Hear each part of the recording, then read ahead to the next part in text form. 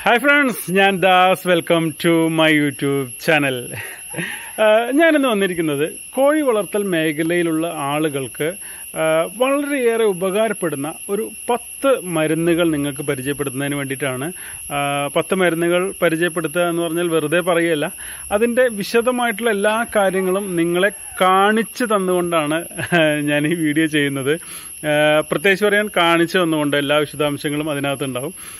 അപ്പോൾ എന്താണെന്ന് വെച്ചാൽ നമ്മുടെ ഈ മരുന്നുകളുടെ പ്രത്യേകത അധികവും ഒരു പത്ത് മരുന്നുകൾ എന്ന് പറയുന്നതിൽ അധികവും നമ്മുടെ വീടിന്റെ പരിസരത്തോ തൊടികളിലോ വഴികളിലോ പറമ്പുകളിലോ ഒക്കെ ഉണ്ടാകുന്ന പച്ചമരുന്നുകൾ അല്ലെങ്കിൽ പച്ചിലകൾ ഒക്കെ ഉപയോഗിച്ച് ഉണ്ടാക്കുന്ന മരുന്നുകളാണ്. അപ്പോൾ അതുകൊണ്ട് നിങ്ങൾക്കത് ഈ സമയത്ത് വളരെ ഉപകാരപ്പെടും. അതുകൊണ്ടാണ് ഇപ്പോൾ അത് ചെയ്യുന്നത് കേട്ടോ.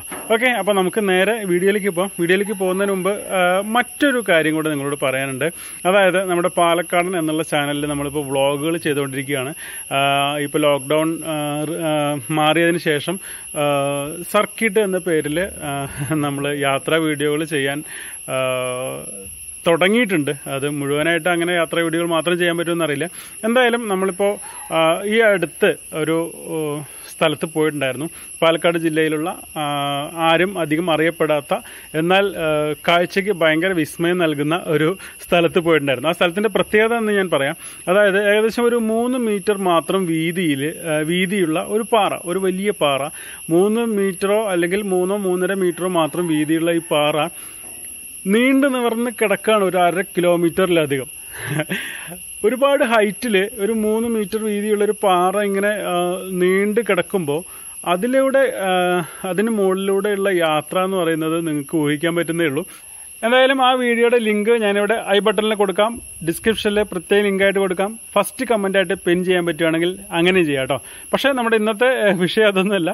കോഴികൾക്ക് കോഴി വളർത്തുന്ന ആളുകൾക്ക് നിർബന്ധമായിട്ടും അറിഞ്ഞിരിക്കേണ്ട മരുന്നുകളെ കുറിച്ചാണ് ഇന്നത്തെ വീഡിയോ. അപ്പോൾ നമുക്ക് നേരെ വീഡിയോയിലേക്ക് പോകാം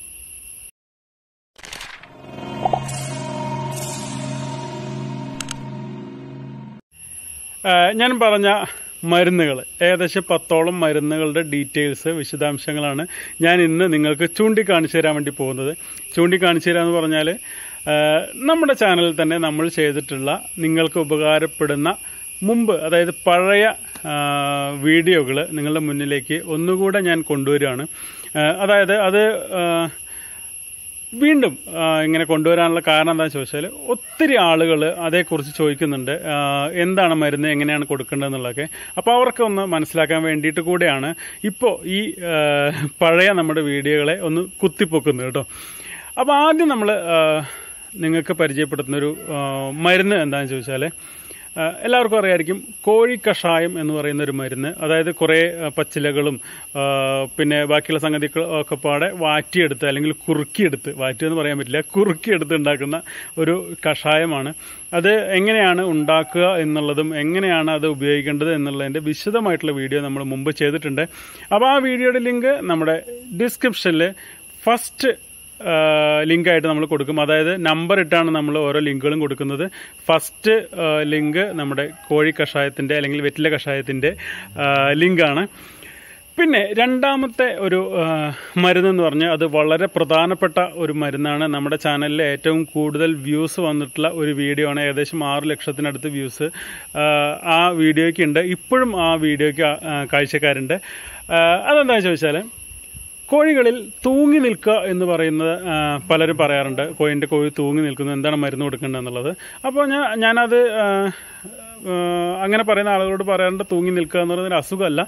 എന്തെങ്കിലും അസുഖം വരുന്നതിന് മുന്നോടിയായിട്ടുള്ള ലക്ഷണമാണ് എന്നുള്ളത്. ആ സമയത്ത് നമ്മളൊരു പച്ചമരുന്ന് കൊടുക്കുകയാണെന്നുണ്ടെങ്കിൽ ഒരുവിധം ഒരു എയ്റ്റി എയ്റ്റി ഫൈവ് പെർസെന്റേജ് ഒക്കെ നമുക്ക് കോഴികളെ റിക്കവർ ചെയ്ത് കൊണ്ടുവരാൻ പറ്റും. അതായത് നമ്മളിപ്പോൾ പറയുന്ന ഈ പച്ചമരുന്ന് എന്ന് പറയുന്നത് രോഗപ്രതിരോധ ശേഷി വർദ്ധിപ്പിക്കുന്ന ഒരു മരുന്നാണ്. അല്ലാതെ ഒരു അസുഖം അസുഖത്തിന് വേണ്ടി കൊടുക്കുന്ന ഒരു മരുന്നല്ല. രോഗപ്രതിരോധ ശേഷി വർദ്ധിപ്പിക്കാൻ വേണ്ടിയിട്ട് നമ്മൾ കൊടുക്കുന്ന ഒരു മരുന്നാണ്. ആ പച്ചമരുന്ന് കൂട്ട് എങ്ങനെയാണ് വിശദമായിട്ട് ആ, ഉണ്ടാക്കേണ്ടത് എന്നുള്ളതിന്റെ ഡീറ്റെയിൽസ് ആണ് നമ്മുടെ ആ വീഡിയോയിൽ അതായത് രണ്ടാമത്തെ നമ്പറിൽ നമ്മൾ ഡിസ്ക്രിപ്ഷനിൽ കൊടുക്കുന്ന ആ വീഡിയോ ലിങ്കിലുള്ളത് അതിനെക്കുറിച്ചാണ് കേട്ടോ. മൂന്നാമത്തെ ഒരു മരുന്ന് എന്താണ് പറയുന്നതെന്ന് ചോദിച്ചാൽ ഇത് എന്റെ ഒരു മരുന്നല്ല ഞാൻ പക്ഷേ അതിനുശേഷം അത് പരീക്ഷിച്ച് നോക്കി സക്സസ് ആണ്. അതായത് എന്റെ വീടിന്റെ അടുത്തുള്ള ഒരു പ്രായമുള്ള ഒരു സ്ത്രീ പറഞ്ഞു തന്നിട്ടുള്ള ഒരു മരുന്നാണ്. അതായത് രണ്ടേ രണ്ട് ഇലകൾ മാത്രമേ അവർ കോഴികൾക്ക് മരുന്നായിട്ട് കൊടുക്കാറുള്ളൂ. വേറെ യാതൊരു മരുന്നും കൊടുക്കാറില്ല. അവർക്ക് അവരുടെ കോഴികൾക്ക് യാതൊരു അസുഖവും ഇതുവരെ വന്നിട്ടില്ല എന്നുള്ളത് പറഞ്ഞപ്പോൾ ഞാനത് നിങ്ങൾക്ക് ഉപകാരപ്പെടുകയാണെങ്കിൽ ആവട്ടെ എന്ന് കരുതി ഞാൻ വീഡിയോ ആയിട്ട് ചെയ്തതാണ്. ആ വീഡിയോ ആണ് മൂന്നാമത്തെ ലിങ്കിലുള്ളത്.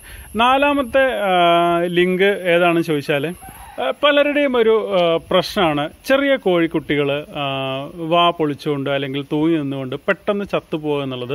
ഏകദേശം ഒരു ഒന്നോ രണ്ടോ ആഴ്ചകൾക്കുള്ളിൽ തന്നെ വിരിഞ്ഞിറങ്ങിയതോ ഇൻക്യൂബേറ്ററിൽ വെച്ച് വിരിച്ചതോ ആയിട്ടുള്ള കുഞ്ഞുങ്ങളെല്ലാം തന്നെ ചത്തുപോവുക എന്നുള്ള ഒരു പ്രശ്നം.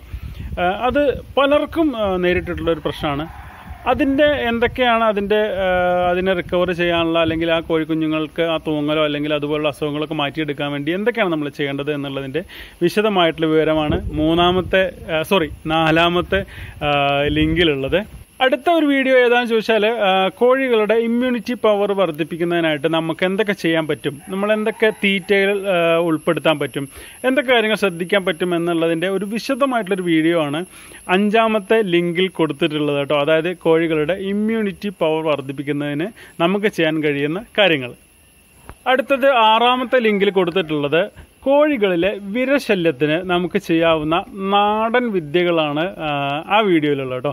അതായത് പരമ്പരാഗതമായി കോഴികളിലെ വിരശല്യം കാണുമ്പോൾ ചെയ്യാറുള്ള കുറച്ച് നാടൻ ടിപ്പുകൾ. അതാണ് അഞ്ചാമത്തെ വീഡിയോ. സോറി ആറാമത്തെ വീഡിയോ. ഏഴാമത്തെ വീഡിയോ എന്ന് പറയുന്നത് പലരെയും അലട്ടുന്ന അല്ലെങ്കിൽ കോഴി വളർത്തുന്ന മേഖ കോഴി വളർത്തുന്ന മേഖലയിലുള്ള ഒരുവിധം എല്ലാവരെയും അലട്ടിയിട്ടുള്ള പ്രശ്നവും കോഴികളുടെ കണ്ണിന് വരുന്ന അസുഖം അതായത് കൊറൈസ എന്ന് പറയുന്ന അസുഖം. കണ്ണ് വീർത്ത് പഴുത്ത് അങ്ങനെ കുറേ നാൾ നിന്ന് കോഴികൾ ചത്തുപോകുന്നൊരു അവസ്ഥ. അപ്പോൾ ഇത് എങ്ങനെയാണ് വരുന്നത്? എങ്ങനെ ഇത് മാറ്റിയെടുക്കാം എന്നുള്ളതിന്റെ വിശദമായിട്ടുള്ള വീഡിയോ ആണ് ഏഴാമത്തെ ലിങ്കിലുള്ളത്. അതേപോലെ തന്നെ എട്ടാമത് നമ്മൾ കൊടുത്തിട്ടുള്ള ലിങ്കിലുള്ള ഒരു കാര്യം എന്ന് വെച്ചാൽ അതും ഈ പറഞ്ഞതുപോലെ കോഴിവളർത്ത് മേഖലയിലുള്ള ഒരുവിധം എല്ലാവർക്കും വന്നിട്ടുള്ള ഒരു പ്രശ്നം തന്നെയായിരിക്കും കോഴികളിൽ കാണുന്ന കുരുപ്പ്. അതായത് മുഖത്തും കഴുത്തിലൊക്കെ ഒരു കുരു പോലെ വന്ന് അതിങ്ങനെ മുഖം ആകെ നിറഞ്ഞ് അങ്ങനെ കോഴികൾ ചത്തുപോകുന്ന ഒരു അവസ്ഥ അതിനാണ് കുരുപ്പ് എന്ന് പറയുക ഫൗൾ പോക്സ് എന്നൊക്കെ പറയും.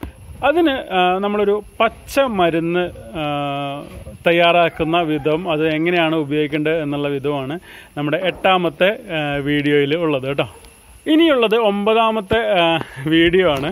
അതും ഈ പറഞ്ഞതുപോലെ കോഴിവളർത്തൽ കോഴി മേഖലയിലുള്ള നൂറ് ശതമാനം ആളുകൾക്കും നേരിട്ടുള്ള പ്രശ്നമായിരിക്കും. കോഴികളിൽ കോഴിപ്പേൻ ഉണ്ടാവുക. കോഴിപ്പേൻ വന്ന് കോഴികൾ ആകെ ക്ഷീണിച്ച് അവശരായി ചത്തുപോകുക എന്നുള്ള പ്രശ്നങ്ങളൊക്കെ.